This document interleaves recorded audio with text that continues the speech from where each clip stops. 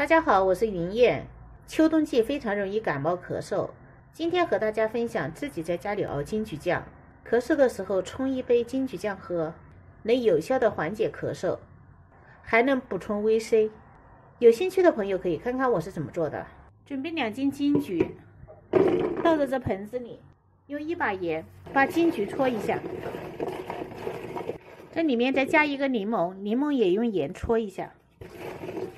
搓好的金桔放上清水浸泡十五分钟，泡好的金桔把这蒂去掉，清洗好的金桔放到开水里焯一下水，焯水以后的金桔熬金桔酱它就没有苦涩味。这水开以后把金桔捞出，过一下凉水，过好凉水的金桔一分为二，籽不用去除。这切好的金桔放在这碗里，把柠檬切成片，把柠檬的籽去掉。这切好的金桔倒到锅里。加上四百克冰糖，不要加水，就直接冰糖和金桔熬。它熬一会儿，它会自然的出水。糖熬化以后，放入柠檬片，中小火慢慢熬，把金桔熬至透明，全部裹上糖浆。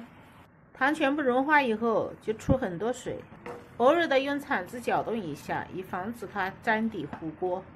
这熬制的糖浆包裹在每一片金桔上面，就可以盛出来了。时间大约半个小时。如果感冒咳嗽、喉咙不舒服，就用开水冲泡，酸酸甜甜的，小孩子也非常喜欢。冬季里久咳不愈，孩子不喜欢吃药的，可以试着在家里熬一下，对缓解咳嗽有非常大的帮助。喜欢我的视频就点个关注吧，我是云燕，下期见。